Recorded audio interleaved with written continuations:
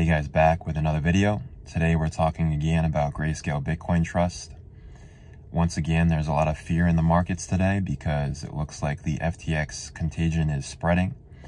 And uh, today it's Genesis, a lending platform, a crypto lending platform, has halted withdrawals.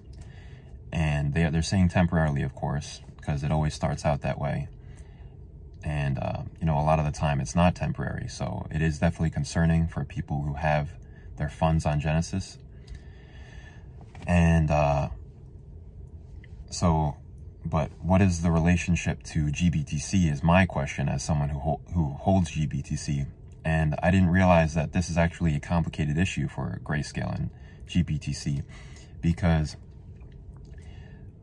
i did not know until i just did some digging that um, Grayscale, as well as this entity that may be going, be having liquidity issues, are both owned by DCG, Digital Capital Group.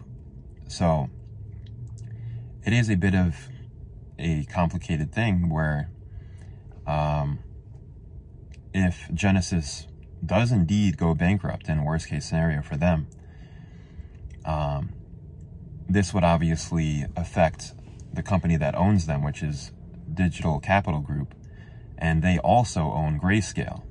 So it is pretty complicated and things are unfolding, you know, hour by hour. And it's a little bit beyond my understanding where if they did go bankrupt and it significantly affected DCG,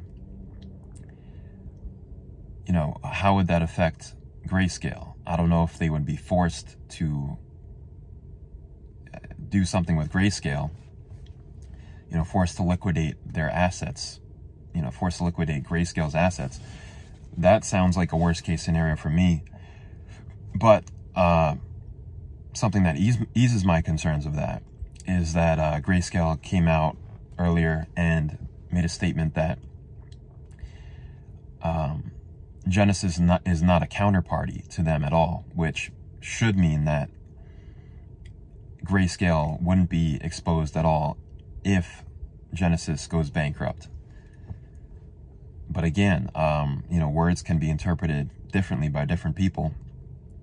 But by saying that Genesis is not a counterparty, that would mean to me, and I think to most people, that if Genesis went bankrupt, uh, Grayscale would not be exposed. But again, they're both owned by the same company. DCG Digital Capital Group. So I think this is a bit of a complicated web here, and uh, I do not have a full understanding of the implications. And again, I'm just I'm just a guy. Like I just I none of my videos are financial advice. I just want to um, bring that home once again. But uh, I do I do personally own GBTC. I also own uh, Grayscale Ethereum Trust. I own more real Bitcoin than I own GBTC. And I think this ultimately brings us back to one of the oldest sayings in crypto, which is not your keys, not your coins. And uh, this is why Bitcoin was invented in the first place, is a medium of exchange which does not require trust. And by holding GBTC, or Grayscale Ethereum Trust for that matter, we are trusting Grayscale.